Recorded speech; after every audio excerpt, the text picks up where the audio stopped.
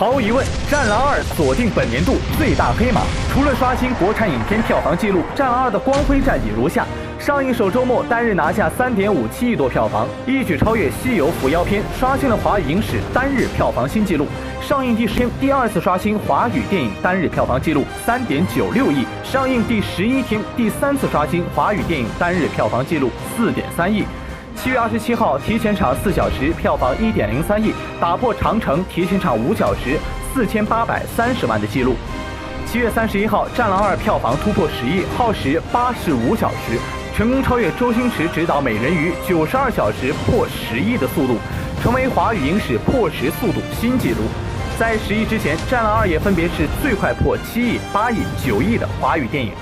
八月五日上映不到十天，《战狼二》超越《速八》，揽下二零一七年度票房总冠军。八月七号二十三时四十五分，累计票房三十三点九四亿，超过《美人鱼》三十三点九二亿，登顶华语电影票房总冠军。到目前为止，全球电影票房总冠军是二零零九年的《阿凡达》，揽下二十七点九亿美元全球票房，相当于一百八十七亿人民币。只能说前路漫漫，国片继续努力。